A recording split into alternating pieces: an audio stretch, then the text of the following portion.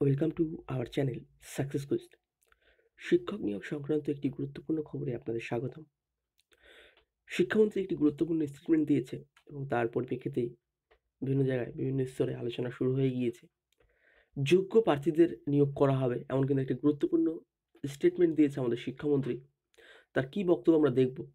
যোগ্যতম ব্যক্তিরা দ্রুততার সঙ্গে চাকরি পান, সেটাই সরকারের প্রধান লক্ষ্য, এমন কিন্তু একটি মূল্যবান বক্তব্য দিয়েছেন, মন্তব্য করেছেন শিক্ষামন্ত্রী। আমরা সকলেই জানি উচ্চ প্রাথমিকের নিয়োগ প্রক্রিয়া যে রায়, সেটা কিন্তু বেরিয়ে গিয়েছে এবং হাইকোর্ট নিয়োগ প্রক্রিয়ার যে রায়টি দিয়েছে তার পরিপ্রেক্ষিতেই স্কুল সার্ভিস কমিশনের যে বৈঠক হয়েছিল, তারপরেই কিন্তু বিভিন্ন পদক্ষেপ শুরু হবে এবং বৈঠক হওয়ার পরে বিভিন্ন পদক্ষেপ নেওয়া হয়েছে। আদালতের এই রায়ের পর স্বচ্ছতা বজায় রেখে দ্রুত নিয়োগ প্রক্রিয়া শুরুর পক্ষে সওয়াল করেছেন স্কুল শিক্ষা দপ্তর ও স্কুল সার্ভিস কমিশনের কর্তাদের একাংশ বিতর্ক না বাড়িয়ে ও দ্রুত পদক্ষেপের ভাবনাও শুরু করেছে স্কুল সার্ভিস কমিশন। শিক্ষামন্ত্রী পার্থ চট্টোপাধ্যায় জানিয়েছেন, আমরা রায়ের কপি হাতে পেয়েছি। এই রায় নিয়ে আলাপ আলোচনা শুরু হয়েছে।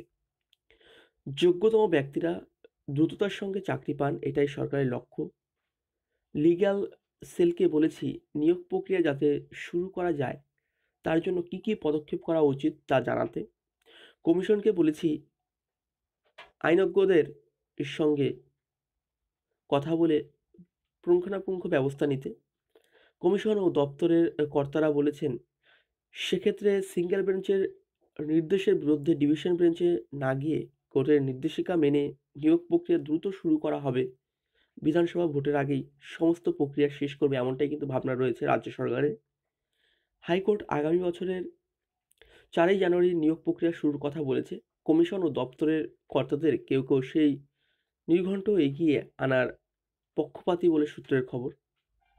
সেক্ষেত্রে রায় প্রদানকারী সিঙ্গেল বেঞ্চের কাছে যে নিয়োগ প্রক্রিয়ার আর্জি তা কিন্তু থাকবে এবং তার সঙ্গে নিয়োগ প্রক্রিয়া দ্রুত দ্রুততার সঙ্গে হয় সে বিষয়টি কিন্তু দেখছে আমাদের স্কুল সার্ভিস কমিশন এবং অন্যদিকে যে ভালো খবরটি, স্কুল সার্ভিস কমিশনের স্থায়ী চেয়ারম্যান পদে কিন্তু নিযুক্ত করা হয়েছে গতকাল এবং তার দ্বারা দ্রুত নিয়োগ হবে এমনটাই কিন্তু ভাবছে অনেকে। আমরা জানি উচ্চ প্রাথমিকের যে কেসটি, সেটি কিন্তু একটা বৃহত্তর কেস। সেই কেসটির পরিপ্রেক্ষিতে দীর্ঘদিন শিক্ষক নিয়োগ প্রক্রিয়া স্থগিতাদেশ ছিল আমাদের রাজ্যে।